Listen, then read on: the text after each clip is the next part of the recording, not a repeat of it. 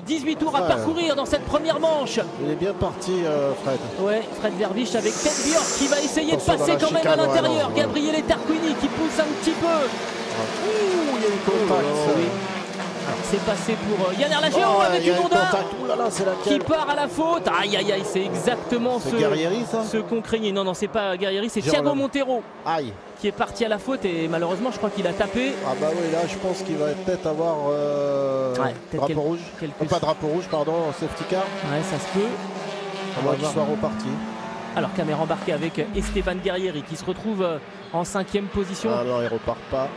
Aïe aïe aïe, ça va peut-être obliger euh, la direction de course à, à faire intervenir la, la voiture de, de sécurité. Dommage, Fred avait fait déjà un écart. C'est bien Ouais. pour l'Audi euh, euh, safety car. Safety hein, car, voilà, c'est logique. Ted Björk en, en deuxième position, Gabriele Tarquini, Girolami Guerrieri Mmh. qui a pris l'avantage hein, sur, euh, sur Yann Erlaché.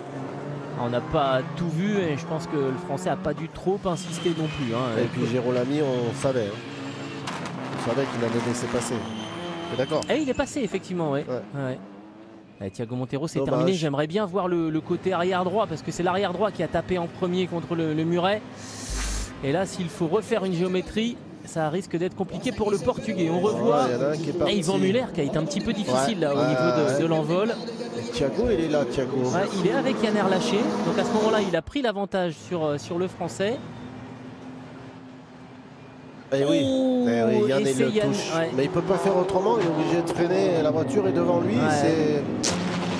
On va le revoir peut-être sous, sous cet angle. C'est au, au freinage. Ouais, Eh en fait, il- Enfin là, c'est Ouais. incident de course, honnêtement. euh, Ouh là là, malheureusement, malheureusement, je pense que le week-end de Thiago Montero est terminé. Ça tape. Ou alors il va falloir vraiment que euh, Bon, là, ça tape aussi. hein. oui, Yvan Muller qui s'est un peu fait, bah, qui a pris un bon pain par Attila Tassi euh, Ouais. également. Ouais. Ah oui, Oui, oui. pas mal, ouais. Pas Ouais, mal je pense aussi, que le- ouais. le- le- il va falloir au moins changer euh, le demi-train arrière droit. Et on voit le départ à bord de la voiture de Fred Vervich, très correct de la part de Ted euh, ouais, franchement, Björk. euh, Et puis il a été malin parce qu'il a gardé sa place. C'est pas évident. hein. Ouais, plutôt que